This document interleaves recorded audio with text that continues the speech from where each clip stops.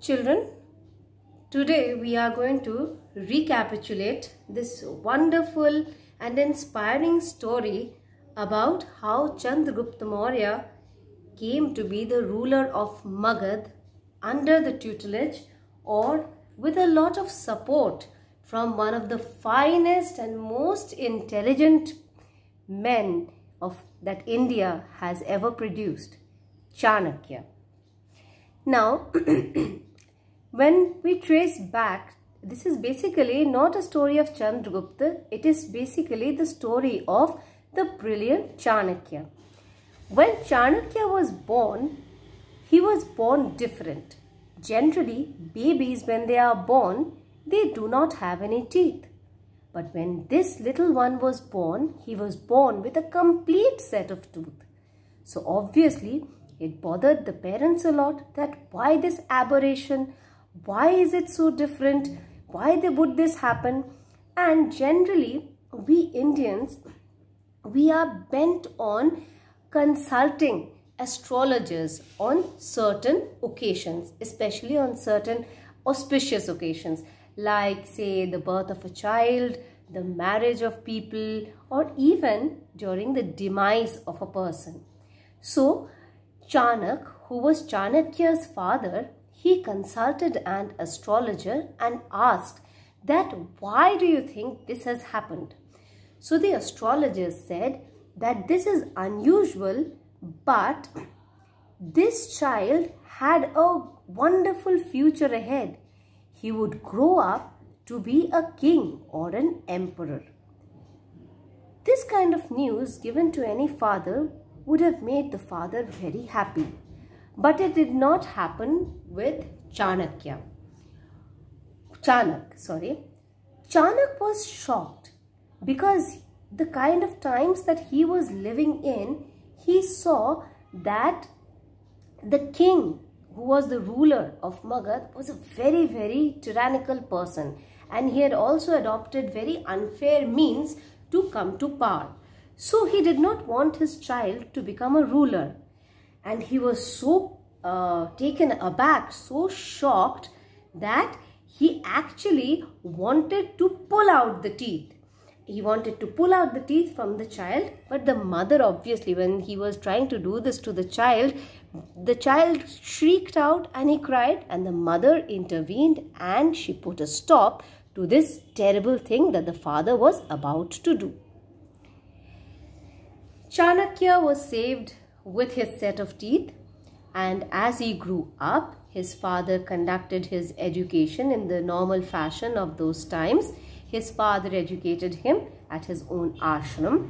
And then when Chanakya was 16, he went to the University of Takshila. By the time Chanakya was 30 years of age, he started to prove that he was a man of exceptional merit because he was recognized as one of the greatest scholars and offer and he was in fact offered the post of the professor at the university.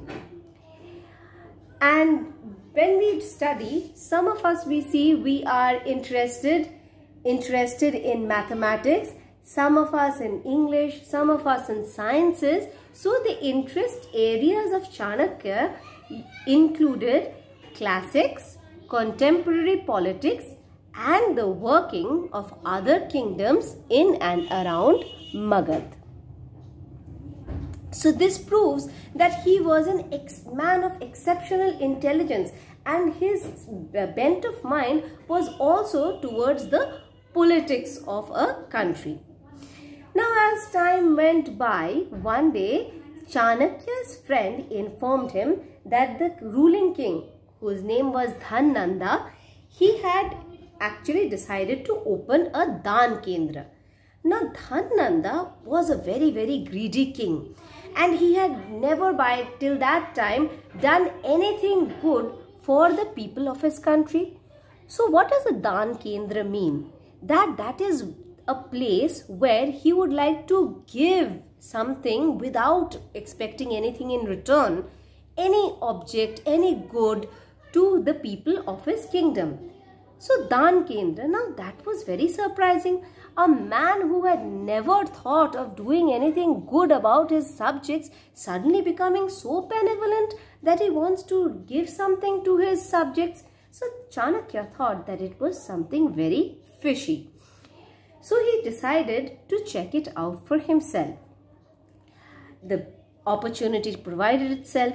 The king was looking for a Brahmin who could be appointed as the manager of the Dan Kendra. And Chanakya, who was very, very self-confident and knew he was one of the most intelligent people, he thought of taking this opportunity and becoming a the manager of the Dan Kendra. So he wanted to present himself as a prospective candidate to find out from inside that why did why this change of character for Dhananda? Did he have any vested interest? So he traveled to Pataliputra to figure out. When he went to Pataliputra, he found that in the capital, the people did not like the king, Dhananda. And there were also people who were conspiring to kill him, to do away with him. And when he was walking, there was a man who spoke to him and he said that he too, as a normal citizen, he too was very concerned and uh, surprised that why this sudden change of heart for this tyrannical king. But then he was a, probably a person of with a positive attitude and outlook and he thought that maybe something good will come out of it. But the best part is that uh, finally, you know, it is the manager who is going to run the Dan Kendra. Like for our country, the president is the head. But the person who runs our country is the prime minister. So he said that, see, if the manager is good, the manager who is actually going to be instrumental in running the Dan Kendra, if the manager is good, then maybe it would be a good thing for the citizens. Now, actually what happened was the that when Chanakya he found out that basically later on or we as we come to read the story we see that Dhananda was actually a tyrannical king. The point was that when the king found out from his informers that his subjects were not very happy with him or that they in fact wanted to kill him, he thought of having to win their heart somehow by hook or by crook. So he thought, all right, let's open a Dan Kendra. Let's give gifts to the people to appease them, to make them calm down so that at least for the time being, my life is saved. And after that, I'll think of something else. Because a man who is bad by character, after all, will find out ways in which to extricate things or take things back. So he thought for the time being, let, let me calm these people down, make them happy so that they don't conspire against me and my life is saved. Now coming back to the story, Chanakya went to Dhananda's court and he found that the king had still not arrived there and he saw the throne and he saw that there were nine eh, seats which were near the throne. And obviously the guard who was there, he informed that eight of them belonged to the Nanda princes of the Nanda dynasty because Dhananda, the king, he belonged to the Nanda dynasty. And the ninth, the M one, which was still unoccupied or empty, was for the manager because the manager had still not been selected. So without hesitation, Chanakya declared that, well, I am the new manager. That is why I am here. I am the rightful occupant of that ninth seat. Obviously, the guard, he was not very conversant about the selection procedure or whatever was happening with the kings and the lords, etc. He also believed and he thought, okay, fine, that means the manager must have been appointed and this must be the manager. And Chanakya looked like a proper Brahmin. But children, can you see that from the very beginning, this entire Dan Kendra is so much tilted in the favor of the Nanda princes because even if you are having a vote, 8 out of 9 votes are going to go to the Nandas. Whatever they think is going to happen is going to happen. So, mm, naturally, it was all a set-up affair. So, the manager of the Dan Kendra was just there for show, but the actual decision lay in the hands of the Nandas only who occupied 8 out of the 9 seats. Now, finally, with all of this done, the king makes his dramatic entry. But the king knows that by I have not uh, actually elected any manager. So he says, he looks at Chanakya and he wants to find out that who are you? He asks this Brahmin that who are you? So Chanakya, he very confidently tells him that I am the person who wishes to be the manager of your Dan Kendra because Chanakya knows that the king knows that Chanakya is not the new manager and he had already sat down and occupied the seat of the new manager. And one thing to remember is that since uh, at those point of times you did not have Volvo buses and uh, other means of communication, this man had traveled a long way from his home to the capital. So by that time, he had a bedraggled look. That is, he was very unkempt. His dhoti was crumpled and his skin had become dry. And since he was walking on the road for a long time, he was covered with dust. So he, he, he gave a very disheveled and dissatisfactory appearance. Now, Chanakya introduced himself and stated his qualification. Like those of you who will ever go for an interview uh, and face an interview board, most of you would, obviously you will have to introduce yourself and state your qualifications. Chanakya did the same thing. And he topped it with a very confident statement. He said, you will not find a more brilliant scholar than I.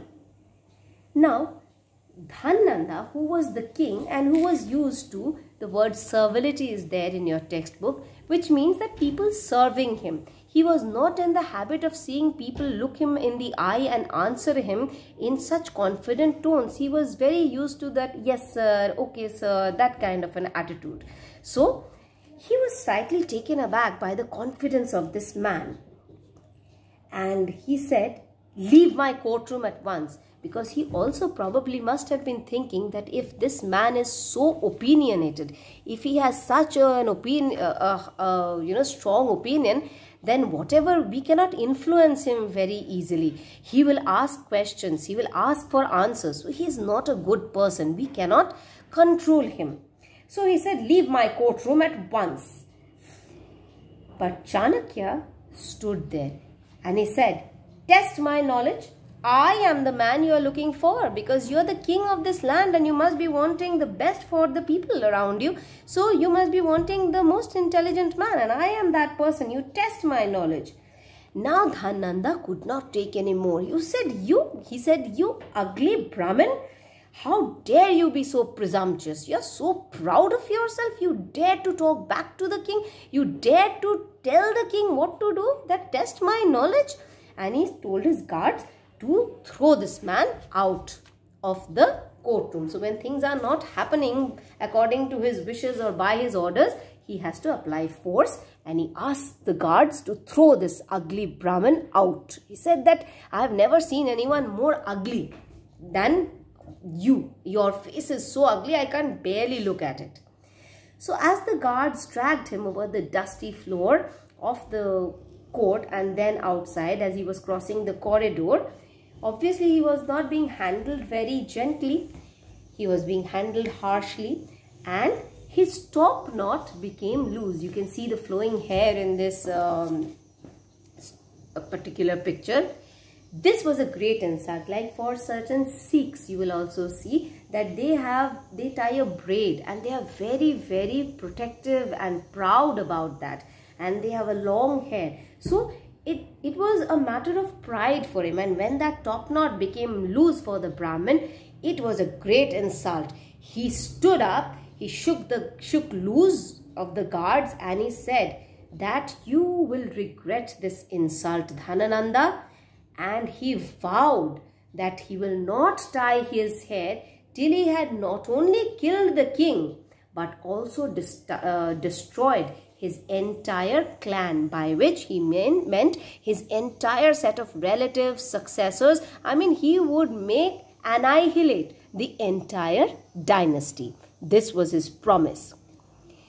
Now Chanakya was a man of his words and he knew that the, that this king was not good he could not be good for the people of the country and he was a very intelligent man and he was not a man who would go back on his promise so since he had vowed to destroy the nanda dynasty and kill the king he his now main his main objective now be, began i mean became to find a man who could be the king once this, this king was removed and secondly an army with which he could attack the present king and his army and wage a war and that too successfully. So he went around over fields, over in cities, all throughout, crossing mountains and in villages, looking for that appropriate candidate. First he needed the candidate because then he would be sure of his next move that yes, now I have a particular person to replace the king. After that, I will move ahead. In Ushara, Chanakya met a group of boys and there he found that one of the boys was acting as a king and he was playing with other boys. The most interesting thing as Chanakya stood there or sat there and I mean waited and observed, there were three things which were very interesting about the way he was acting as a king. The boy seemed to have an inherent royal attitude about him. And whatever problems his friends were coming up with, he seemed to have that instinctive sense of justice and he was not being biased with anyone while dealing with the boys who were pretending to be the courtiers. So these three things struck him. So he singled that boy out and struck a conversation with him. The boy introduced himself as Chandragupta Maurya. And in the course of his conversation, the boy said that he was actually the son of Mahanandan, the rightful heir to Magadh's throne because we know that Dhananda had actually killed and murdered and usurped the throne. So now Chanakya did not have any second thoughts about who was going to be his candidate to replace this current tyrannical Dhananda. And as the boy went on talking, he said that all his other brothers were killed and he was very lucky to have escaped with his life. When, Dhanand, uh, when uh, Chanakya asked Chandragupta to come and come with him, Chandragupta said that no, a local herdsman had protected me, gave me shelter, so I cannot leave. I am indebted to him. I am bound to him. So Chanakya went and bought the boy from the herdsman and then obviously he was like a raw mold of uh, clay. He needed to be shaped in order to be a good ruler for the city uh, for the kingdom of Magadh so Chanakya eventually sent him to Takshila to be taught in the in the ways of dealing in politics statecraft and administration. So now the process had started of making the king. Now, when this side was taken care of, Chanakya decided now he needed an army. He did not want an army where generals, lieutenants and colonels were there. He instead chose robbers and outlaws. Why did he do that? Because these people, their families knew the kind of life they led. They had nothing to hold them back. And they were truly brave men.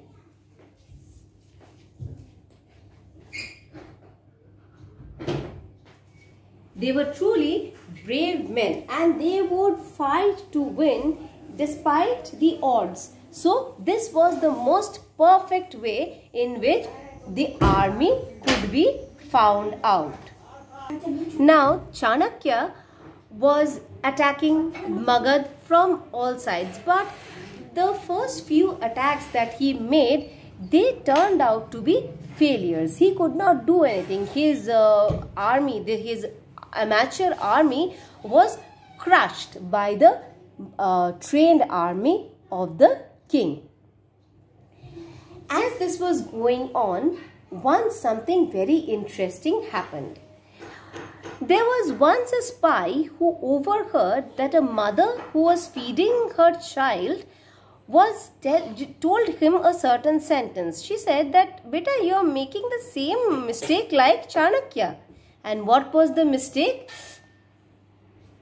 So what she said was that, uh, she said that you are acting like Chanakya.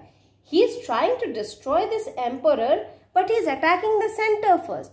But if you, just like if you break the chapati from the center, the sides are going to fall.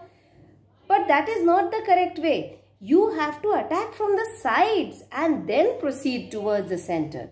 Now this was a great education for Chanakya who was a willing learner and soon he had to he, he decided to change his tactics. He ordered that his troops now move from the border towards the center and he also wanted to plant a spy within the center or the central administration. He was also aware that the Magadh army was not great just for nothing. It had a brilliant general looking after it whose name was Kathayana. Kathayana was so fierce that he was popularly or amongst the masses known as Amatya Rakshas. And he knew that in order to get rid, I mean in order to win a war, he needed to get rid of this general uh, Kathayana. And as we know, all is fair in love and war, he started to adopt certain tactics. He relied on his best students and recruited some of his most royal students of medicine, astrology and psychology as spies. One of the spies was Indu Sharma and he dressed up as a Jain monk and then he went around the city trying on the uh, instruction of Chanakya to win the confidence of the Nandas and their general. So from Chandragupta, Indu Sharma learnt many secrets of the royal family and then he disguised himself as a Jain monk and astrologer and went and told the king that he was an astrologer. The king wanted to test his uh, knowledge and called him once again. And when he called him once again and he wanted to test his knowledge, uh, Indu Sharma came up with certain facts who no one else knew but the royals of the family. The king was convinced and kept him as the royal astrologer. Now this is what Chanakya needed. He had planted that camera inside the royal uh, structure that would give him all the information about the planning etc of the of the Nandas. So, by reading the king's past very accurately, he won the confidence of the royals and was appointed as the official astrologer of the Nandas. Soon, Amatya Rakshas started consulting him as, for, uh, as to what his next military move would be, which the boy duly passed on to his teacher Chanakya. Once Chanakya came to know about this inner secrets, victory became his. Realizing one by one that the fort was falling everywhere and his power was becoming uh, less and less, Dhananda understood his fate and one day he drove a sword through his heart after all the Nanda princes had been killed. So Chanakya had actually kept his vow of not only killing the king but destroying his entire clan. Now with Dhananda removed and no one to claim being his successor, Chandragupta was coronated as the new king of Magadh. By this time, under the able tutelage of Chanakya, Chandragupta had become a very good, reliable, benevolent, wise king who could mete out proper justice to everyone. And with uh, Chandragupta as at its helm, the Mauryan Empire flourished and soon grew into one of India's greatest and most powerful empire. Now his task accomplished, the kingdom of Magadh in safe hands, the people happy, Chanakya returned to his village. He never gave up studying. What he liked most was learning, teaching and writing. And some of the best books and the most important ones he had written till date was Chanakya Niti, Niti Shastra and Arth Shastra. And children, you know that these books are so relevant even today that they are used as reference text in major universities across the world translated in so many languages by students of political science and used and studied by students of political science, administration and economics.